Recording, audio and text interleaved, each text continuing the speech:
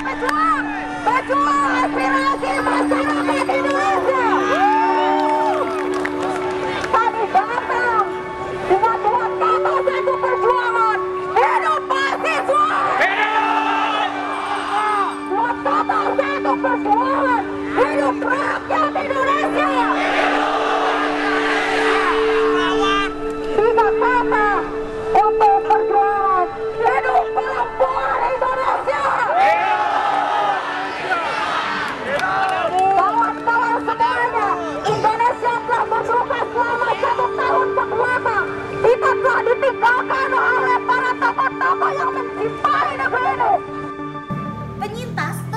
Bisa mendapatkan haknya untuk pulih.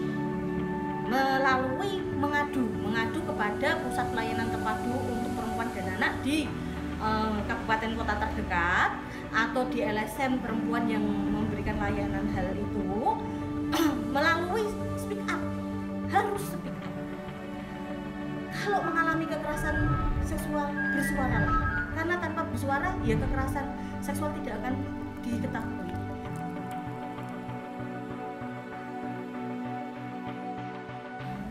kami atau e, lembaga layanan itu mempunyai mandat untuk menemani korban untuk mendapatkan pulih atau mendapatkan e, kehidupannya lagi secara baik.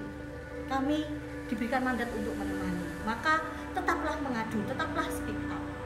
Kemudian kita berjuang bersama karena masih ada harapan. Sekarang ini di Prolegnas sedang dibahas rancangan undang-undang penghapusan kekerasan seksual.